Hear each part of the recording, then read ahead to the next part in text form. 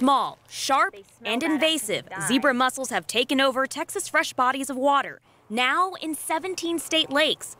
And it's a problem. Earlier this summer, Canyon Lake residents had a water shortage after zebra mussels clogged up one of the main water supply intake pipes for Canyon Lake Water Service Company. The plant was temporarily shut down for intake pipes and pumps to be cleaned.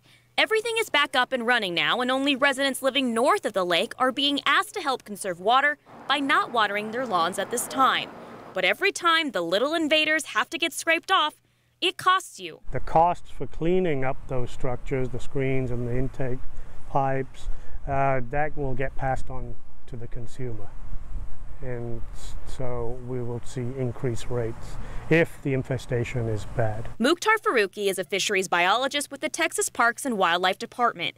He says zebra mussels reproduce quickly, and thousands of them can quickly take over lakes. He says zebra mussels can cause a handful of problems. They clog up water supply pipes, they take away food supply from local species, and they also can cause water to be foul smelling or tasting. But then they decompose, and then they create a foul smelling, uh, you know, problem because then the, those people that were supplied with that water, they ended up getting smelly uh, foul tasting water. They first invaded Texas lakes in 2009. Biologists say most likely through boats when they are not properly cleaned. Faruqi says people need to clean their boats thoroughly and let them dry for several weeks before putting them into another fresh body of water to prevent the mussels from spreading. The juveniles are microscopic, so you can't see them, and they could be in any um, amount of water that's remaining in your boat. Because once they invade a lake, they are there permanently.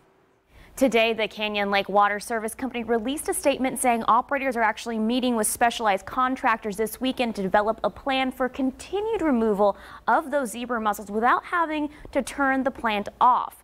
The plant is working on long-term solutions that include redesigning and enlarging the intake pipe with materials that zebra mussels can't easily attach themselves to. Myra?